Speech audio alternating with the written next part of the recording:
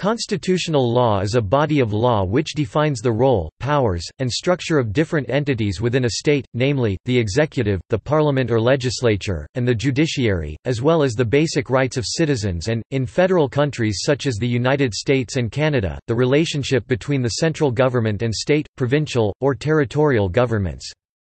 Not all nation-states have codified constitutions, though all such states have a jus commune, or law of the land, that may consist of a variety of imperative and consensual rules.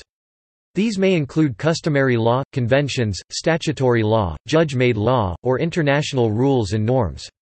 Constitutional law deals with the fundamental principles by which the government exercises its authority. In some instances, these principles grant specific powers to the government, such as the power to tax and spend for the welfare of the population.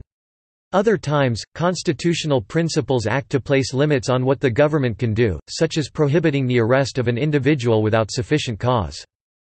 In most nations, such as the United States, India, and Singapore, constitutional law is based on the text of a document ratified at the time the nation came into being.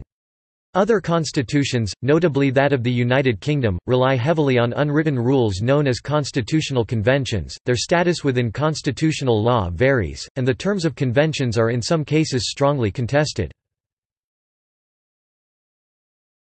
Topic: State and legal structure. Constitutional laws may often be considered second-order rule-making or rules about making rules to exercise power. It governs the relationships between the judiciary, the legislature and the executive with the bodies under its authority.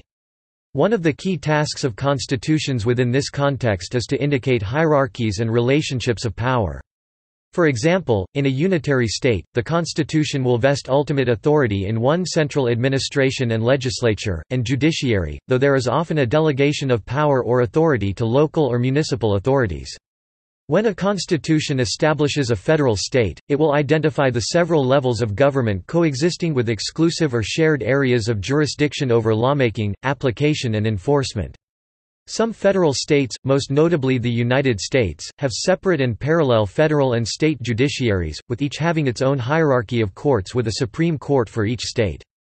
India, on the other hand, has one judiciary divided into district courts, high courts, and the Supreme Court of India. Human rights Human rights or civil liberties form a crucial part of a country's constitution and uphold the rights of the individual against the state. Most jurisdictions, like the United States and France, have a codified constitution, with a Bill of Rights. A recent example is the Charter of Fundamental Rights of the European Union which was intended to be included in the treaty establishing a constitution for Europe, that failed to be ratified. Perhaps the most important example is the Universal Declaration of Human Rights under the UN Charter. These are intended to ensure basic political, social and economic standards that a nation-state, or intergovernmental body is obliged to provide to its citizens but many do include its governments. Some countries like the United Kingdom have no entrenched document setting out fundamental rights, in those jurisdictions the constitution is composed of statute, case law and convention. A case named Entick v. Carrington is a constitutional principle deriving from the common law. John Entick's house was searched and ransacked by Sheriff Carrington. Carrington argued that a warrant from a government minister, the Earl of Halifax was valid authority, even though there was no statutory provision or court order for it. The court, led by Lord Camden stated that, "...the great end, for which men entered into society, was to secure their property."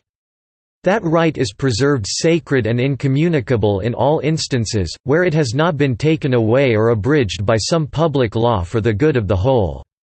By the laws of England, every invasion of private property, be it ever so minute, is a trespass. If no excuse can be found or produced, the silence of the books is an authority against the defendant, and the plaintiff must have judgment. The common law and the civil law jurisdictions do not share the same constitutional law underpinnings.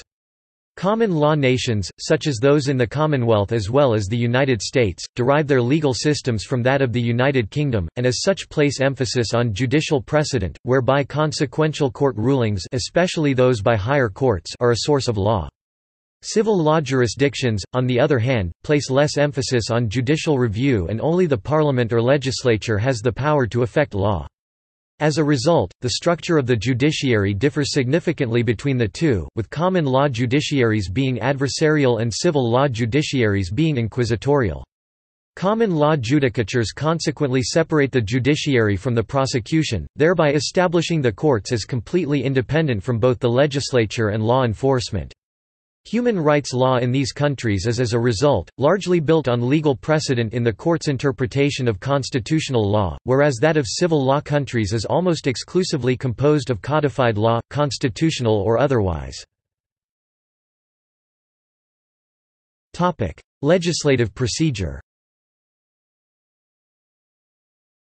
Another main function of constitutions may be to describe the procedure by which parliaments may legislate. For instance, special majorities may be required to alter the constitution. In bicameral legislatures, there may be a process laid out for second or third readings of bills before a new law can enter into force. Alternatively, there may further be requirements for maximum terms that a government can keep power before holding an election.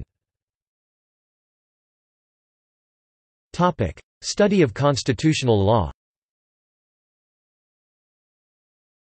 Constitutional law is a major focus of legal studies and research. For example, most law students in the United States are required to take a class in constitutional law during their first year, and several law journals are devoted to the discussion of constitutional issues. The rule of law The doctrine of the rule of law dictates that government must be conducted according to law. This was first established by British legal theorist A. V. Dicey. Dicey identified three essential elements of the British constitution which were indicative of the rule of law. Absolute supremacy of regular law as opposed to the influence of arbitrary power. Equality before the law. The Constitution is a result of the ordinary law of the land. Dicey's rule of law formula consists of three classic tenets. The first is that the regular law is supreme over arbitrary and discretionary powers. N o man is punishable except for a distinct breach of the law established in the ordinary legal manner before the ordinary courts of the land.